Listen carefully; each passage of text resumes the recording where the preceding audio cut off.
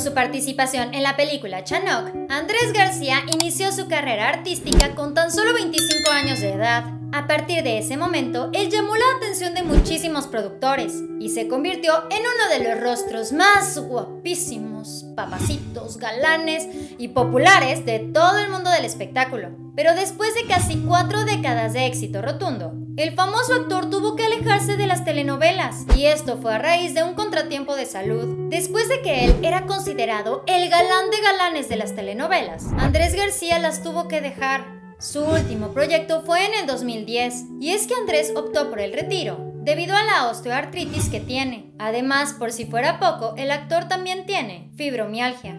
Esta es una enfermedad crónica que se caracteriza por tener malestares generalizados en el sistema musculoesquelético. Esto hace que se tenga hipersensibilidad, en diferentes áreas corporales y puntos, en los que se concreta un malestar mucho más intenso. Estos puntos pueden ser lugares como la cadera, el cuello, la espalda, los brazos, y es que de acuerdo con varios especialistas, esta patología amplifica la sensación de malestar, ya que aumenta el modo en el que el cerebro y la médula espinal procesan las señales de malestar, por lo que hacen que el paciente tenga malestares que habitualmente no son tan fuertes. Este contratiempo de salud hizo que Andrés García tomara la decisión de alejarse por completo de los foros de grabación. Incluso en varios programas de espectáculos y entrevistas, él ha llegado a decir que se siente que ya está en la última etapa de su vida y que incluso ha considerado quitarse su propia vida. Esto como una forma de poder terminar con tantos malestares. Con sus propias palabras, Andrés García mencionó,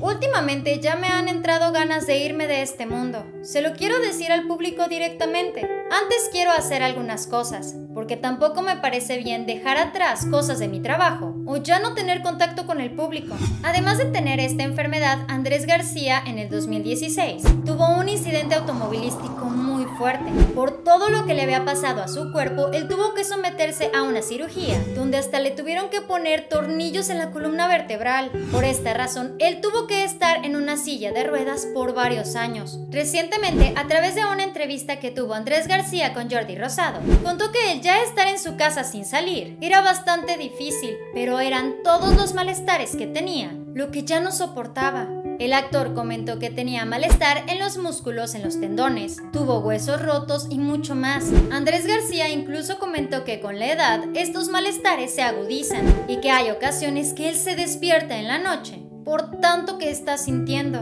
Aún así, él es un actor sumamente fuerte, ya que dijo él no se dejará caer tan fácilmente, y que si después de 7 años de haber estado en una silla de ruedas, él pudo volver a caminar, ahora lo que desea hacer es volver a meterse al mar, volver a hacer algo de ejercicio, con todo y que tiene tornillos en la espalda.